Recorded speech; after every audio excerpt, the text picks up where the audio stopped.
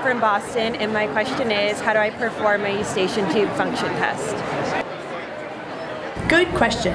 On the GSI TympStar Pro, you can perform the eustachian tube function whether the eardrum is intact or perforated.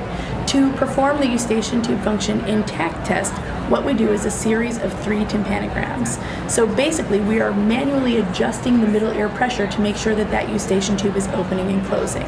So you place the probe into the ear, you go to the intact or the intact eustachian tube function test, and you press start. The first thing that we do is just a regular tympanogram. When that's completed, we hold the pressure out at positive 400 decapascals and have the patient drink some water. By doing that, the eustachian tube, if functioning properly, should open and close, changing the pressure. When your patient is done swallowing, all the way done swallowing, you press continue and we will do a second tympanogram and hopefully there's a little shift there. Uh, when that is done, when the patient is done swallowing, it will hold the pressure at negative 400 decapascals and have the patient swallow again. Again, this will manually change that uh, middle ear pressure if the eustachian tube is functioning. When they're done swallowing, you press continue, and we do perform a third uh, tympanogram with that third uh, condition and pressure. At the end of the test, you will evaluate or interpret based on the shift between the peaks. They're calculated for you, and we're looking for a 15 to 20 decapascal shift between any of the two tympanograms.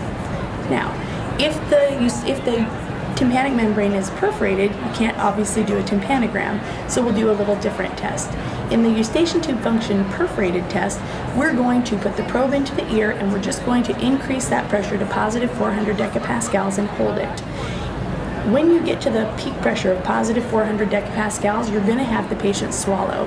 And when they swallow, the eustachian tube should open and close. So you'll see the tracing at positive 400. When they swallow, the pressure will drop if the eustachian tube opens, and when it closes, the pressure will stabilize again. So you'll have that do, you'll have your patient do that a couple of times and hopefully see some sort of stair-step uh, result on the screen.